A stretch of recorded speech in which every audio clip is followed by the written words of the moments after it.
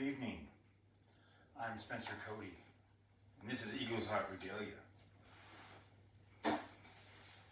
Tonight we're going to be learning how to make a brisk plate.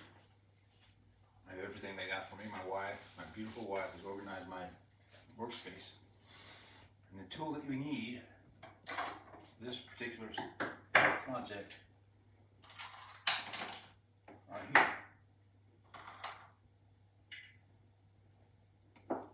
I begin, I want to I want to tell you why I'm doing this. when I first started dancing 38 years ago, I had some elk skins and I didn't know how to make leggings. But I knew an elder, he's a Comanche man. He was a world-renowned flutist. He played in Carnegie Hall. His name was Doc Tate Nevaquaya, a Comanche man, great artist. I went to see him. In those days, you didn't have to call an elder to make an appointment to see him. Because those elders in those days realized that when a young man came to see you, it was an honor for them to teach. So I came to his house. I drove six miles, uh, six hours to his house in Apache, Oklahoma, and I pulled up, knocked at his door, and his wife let me in. I stepped in, and he said, Doc, you have a visitor. I looked down the hall to where she was looking at, and there was a man, handsome man, handsome man. He looked up at me. He was painting. His painting was selling for ten thousand dollars a painting. And he stopped in the middle of his painting. He put his brush down. He stood up and walked from the bedroom to the living room where I was the living room where I was at. And he said, "You're Spencer Cody's son." I said, "Yes." He said, "Spencer Cody, is a good man. Your mother is a good woman. All the Indians around here know him to be a kind and generous man and a giving man, as well as your mother. What can I do for you?" I "Doc, I know that you're a dancer." And I know that you have wonderful leggings. I was wondering if you would teach me. He said, Sure. You have your skins. I said, Yes. So I went out and I got my elk skins. I brought them in. And we laid them out on his table. And for the next four hours, he showed me how to cut my leggings just right to where they fit. He showed me how to cut my fringes and then how to use uh, the fringes itself without using a single bit of thread on the on the leggings to make a full set of leggings with just the skin itself. And when he finished, I reached in my pocket, I took out two hundred dollars, and I handed it to him. He said, "No, Spencer. Someday, a young person, a young man, or a young woman will come to you and ask you for help in building regalia, or for advice in life. In that day, you teach them, and in that day, you will have repaid me. So that's why I do this. I'm honoring a duty a favor to one of my teachers, my elders. And that's why I'm doing this. Another thing, I always speak about respect for elders. Once again, elders are not old people. Your mothers, your fathers, your uncles, your aunts, your grandparents. They have wisdom in their lives, in their minds, in their They have scars on their faces from they've gone through hard times. And they want to pass on that knowledge to you, but you as young people, if you don't humble yourself in your heart to listen, to learn, you're going to make the same mistakes they do, they did. And that's what we're trying to not allow you to make, those same mistakes that lead you into a life of hopelessness and despair, anger, bitterness, of uh, turmoil. And one of the first dances I danced, I was with the Comanche Indian Veterans Association in Powell in Surrey, Oklahoma. I was dancing, and I didn't have anything to dance with. I, did, I had a hawk wing I was dancing with. He was an old man watching us dance. And uh, I went outside. Now, I was dancing good, I thought, shaking it up. Bells were looking good. Wind was blowing. It was a nice summer evening. I stopped. I looked over. He, he did this. I walked over to him. He said, he was an old Arapaho man, a wizened man, noble looking, great dignity in his face. Son, you're dancing wrong. My first reaction was, what? I don't see you out there dancing. What are you sitting here telling me how to dance? And then I remembered that I was supposed to listen to my elders to learn. He said, Your feet are moving in two different directions. And he, brings, and he began to instruct me in how to move my feet. So I went out there and I did exactly as he said. And I came back out of the arena. I looked over, and he was smiling at me. And then he did this again. I went over to his car. He uh, went to the back of his uh, vehicle and opened up the trunk, came out, and he had a a package wrapped in a doe skin. He laid it on the hood and he opened it up. And he picked this up. He said this was used in the last Arapaho Sundance in 1901. He said, I'm going to give it to you. I'm going to give it to you this. He gave me this. It's over 125 years old now, depending on how old the eagle was when he lost his wing. But he gave me this. This is one of my greatest treasures. Why did he give that to me? I don't know, but I think it's because I was teachable. I was willing to hear what he had to say. So if you'll let me, I'll share some of my knowledge and some of my years of life with you. Okay, the first thing we have, we have our bones. These are four inch bones. They are, when you get bones, they come in different sizes. So what you have to do is that you have to measure them out first, to measure them out because you want them all the same size. Because if you get, you have one here and you have one up here, you can see there's two different sizes. So you have to measure them out and put size with size. This one goes here and that one goes back up there. Same with these middle bones. These are two and a half inch bones. I'm making this for a warrior who's a who's a uh, special forces operator, an Indian man. And uh, when you make regalia, it's not something you buy like uh, from online. You can buy some of this stuff, and you can buy chokers. You can buy some of this stuff from a, a, a store or a trading post. But here's the difference: those things are made in China. There's no honor in that. This young man, I asked him about himself. He's a military man. He's a special forces operator. And uh, I said, well, I would like to make you a breastplate with black and brass. Because brass is a military, military metal. So I use French plated brass, hollow beads, very expensive. Okay, now what you want to first do is you have your spacer. Now when you're measuring out your, your sinew for your breastplate, you measure something like this. Like that is one section, that's one row. Okay, you only want to do 10 rows at a time. Because I've been doing this a long time. And I make a mistake every single time that I make breastplate or choker. And, and when you do, do it longer than that, what happens is that if you make a mistake on top of your breastplate, you're not going to catch it. If you're not careful, you won't catch it until three rows later. Then you have to take it apart and redo it.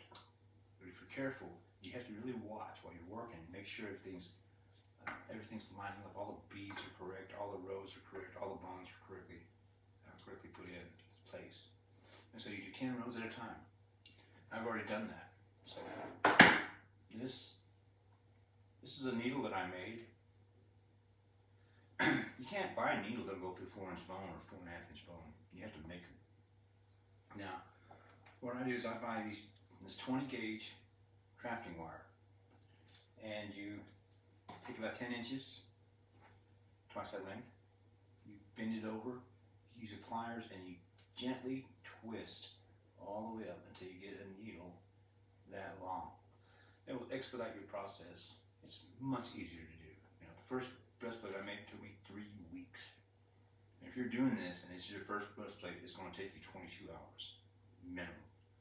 Because you're going to make mistakes, mistakes, and you have to pull it off and uh, redo it again. So here I have my my uh, my needle. I have my artificial sinew. Now, in order to make it strong so it doesn't break, my breastplates have uh, going on 40 years old. you double the sinew to make it stronger, like so. Okay, you you put your anchor nut or your your crow bead at the end where you start. That's your anchor nut. You take your first spacer. You start second hole from top. You come in. You take your black, your brass,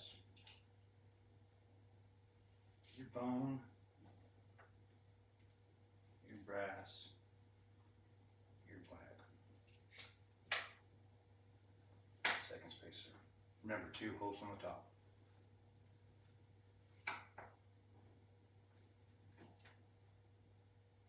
Black, brass, middle bone. Usually I make these middle bones two inches, but this is a big fella. And so I made it two and a half inches for him. It's going to be extra long, extra long, extra, extra wide for this man. He's a warrior. He deserves it.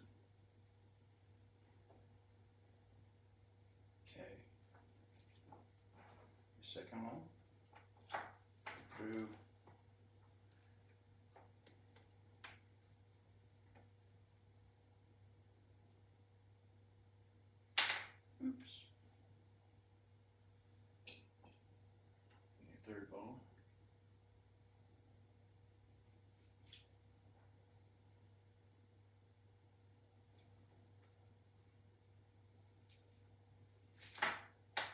A4 spacer.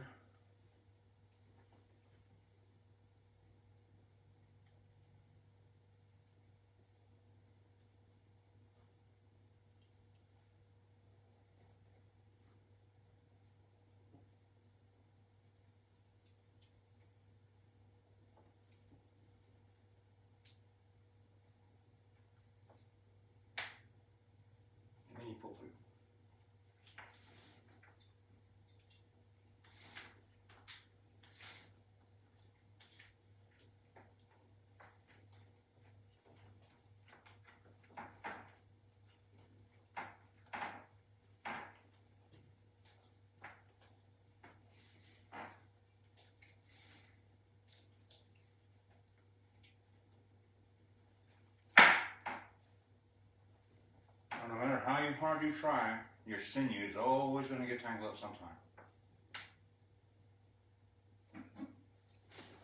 You just have to be careful.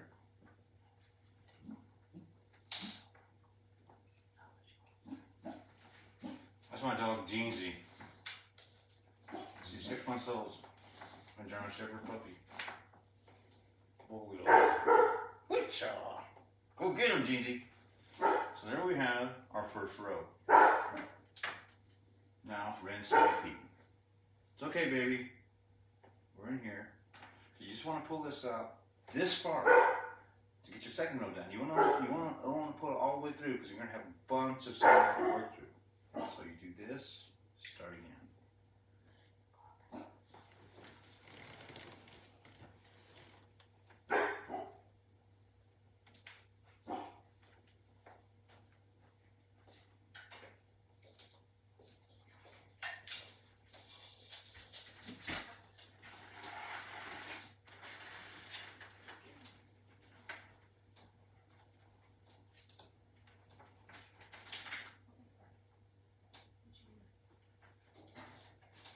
A today. He called me on the phone. He wants to do videos, be on the podcast. he was asking me questions.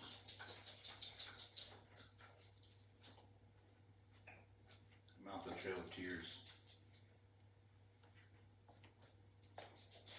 And what does the Trail of Tears mean to you? I said, what does the Trail of Tears mean to you? Oops, mistake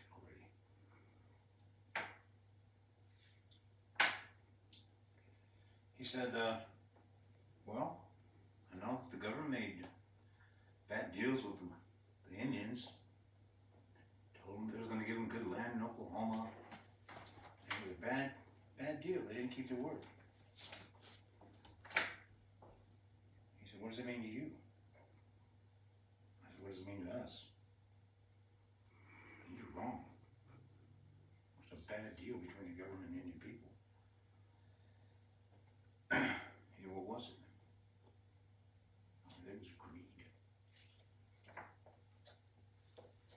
Cherokees had land in Georgia. Cherokees had intermarried with the English or the Americans for uh, for a century. So they had uh, a village. They had doctors, lawyers. They had a village. They had a church, and um, people in Georgia found gold in the land. Now these Cherokees had legal title to this land. It was their land. and these people wanted to drive them off. Okay, now, come to the second part. One, two, three, four, five, six, seven,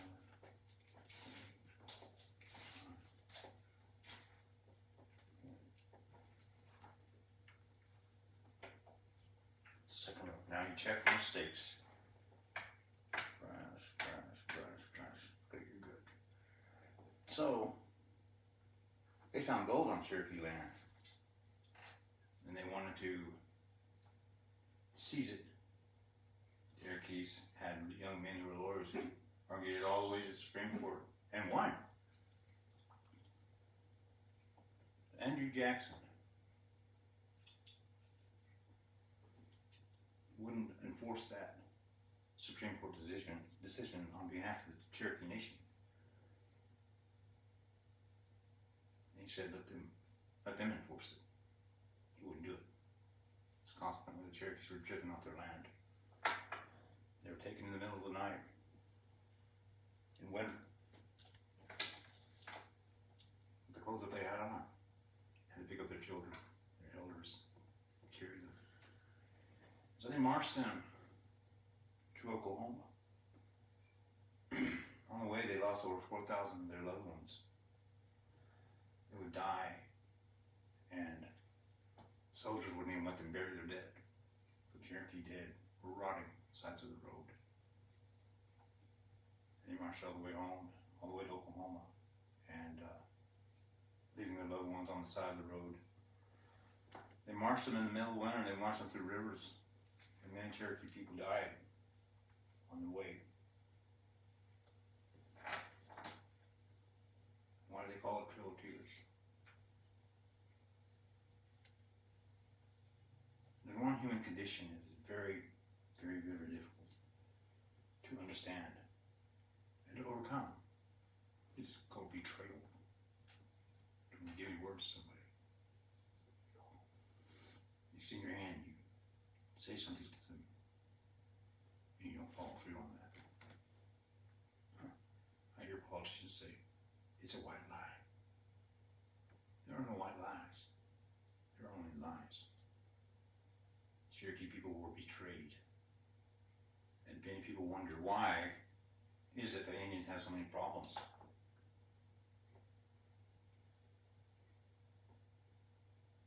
Your wife or your husband left you for another man. That's called betrayal. This is a pain. Another mistake. But I caught it. This is the pain that Indian people live through. Is betrayal with no no hope that it will ever be resolved.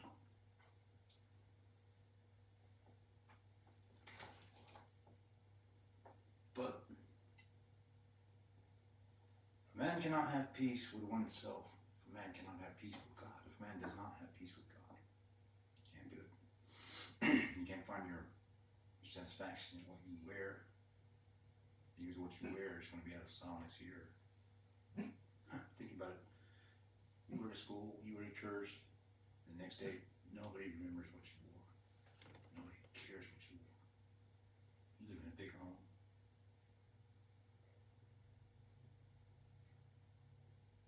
That doesn't fulfill you. You drive a nice It's gonna rust. You cannot find happiness that in that. You can only find happiness if in fact your relationship with God, you're at peace with Him. Okay.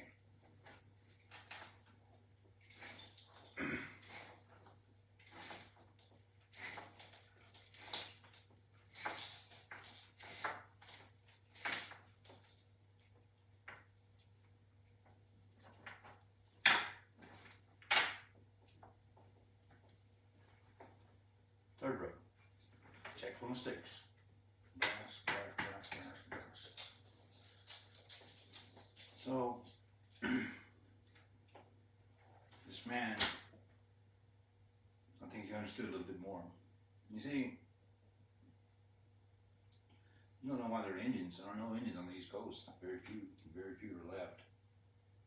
Because uh, the American President Andrew Jackson signed a law Indian Removal Act of 1831.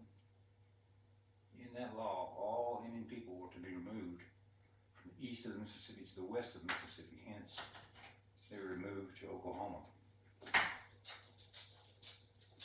Oklahoma was already the homeland of Kiowas and Comanches, Cheyennes, and Rapahoes. And uh, the Cher- Cherokee people, Choctaw, Choctaw, Choctaw, Seminole people all came to live in our land, but we we had no choice in that either. but here's the funny thing, though. You know, the people that we used to war against, we warred against the Comanches and we warred against the Cheyenne and the Arapaho. We warred against the Sioux, black people. We made peace with them. We dance together now.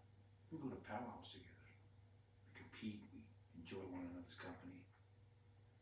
We're at peace because we gave our word to one another.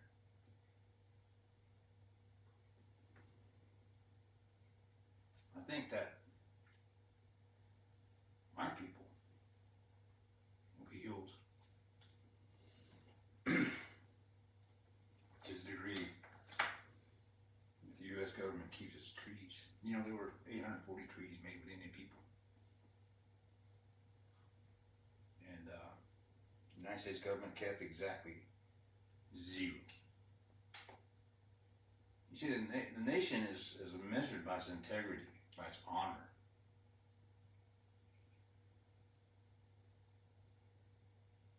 But they have not honored the treaty with us.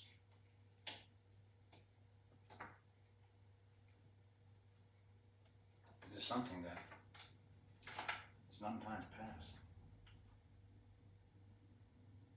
They've broken their word. and God will not honor that. He is a God of truth, God of justice. This is not a thing of the past. I hear many white people say, oh, that's forgotten, forgotten, that's past. Why don't you let that go? You didn't need this whole thing on too much. See, but it's not the past, it's us. For us, we are human beings. That means our past, our present, our future are all melded into one together. We are being. So my ancestors still walk with us. The blood of the greatest warriors in the plains flows through my veins. I am a Kiowa. I'm a Kiowa warrior. I love my people. What does it mean to be a Kiowa warrior? Our warrior is a man who will defend his family to the death at a moment's notice without blinking an eye. Our warrior is a man who will hear that his people, his country, have been attacked by the enemy in Afghanistan, Iraq, Vietnam. My father was a warrior in World War II. Indian people aren't drafted, Indian people volunteer. A warrior is one who takes care of his parents. A warrior is one who takes care of his children. A warrior is one who takes care of his grandchildren. Who looks after the old and the elderly. He wants to see that the old ones are full, filled, are filled with food. I think that that should be, that should be the measure to which we, all our leaders should be measured by. Not by how much education you have, because anybody can have an education. But you have character. Leaders should not be power hungry. They should not be greedy, taking advantage of those whom they represent. It should not be shameful. Oop. A mistake right there. See? they should, uh, leaders should be, have integrity. Be able to speak with yourself at night. You should be a man of honor.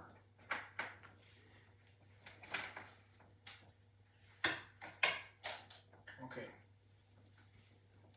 How do you bring that breastplate from, breastplate from the wall? Okay, this is how far we got tonight. This is an introduction on building a breastplate. This is one that I've I've completed already. And uh, this one is going to a very special man. But I hope you learned a little bit tonight. Uh, I'll try to be posting a video every Friday. Eagles Guy